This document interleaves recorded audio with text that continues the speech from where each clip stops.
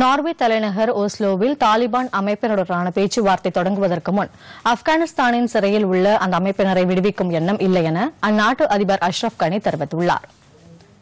தோஹாவில் அமெரிக்கா மற்றும் தாலிபான் அமைப்பினருக்கு இடையே ஒப்பந்தம் கையெழுத்தானது. அடுத்த பதினான்கு மாதத்திற்குள் ஆப்கானிஸ்தானிலிருந்து அமெரிக்கா தனது முழு படைகளையும் திரும்ப பெற்றுக் கொள்ளவும் அல் கொய்தா உள்ளிட்ட தீவிரவாத அமைப்புகளுடன் உள்ள தொடர்பினை தாலிபான் அமைப்பு முறித்துக் கொள்ளும் வகையிலும் இந்த ஒப்பந்தம் கையெழுத்தானது.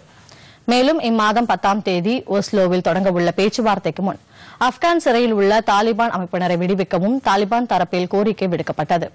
சுமார் ஐந்தாயிரம் தாலிபான் அமைப்பினரை ஆப்கானிஸ்தான் விடுவித்தால் தங்களது சிறைகளில் உள்ள ஆயிரம் ஆப்கானிஸ்தானர்களை விடுவிப்போம் என்று தாலிபான் கூறியிருந்தது.